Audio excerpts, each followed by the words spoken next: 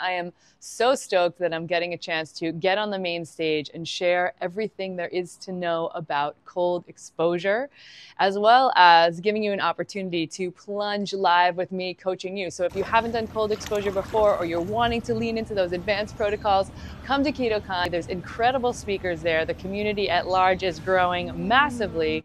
It is not just ketogenic, it is beyond. It is vendors that you know and love, it is speakers across all areas of health optimization optimization.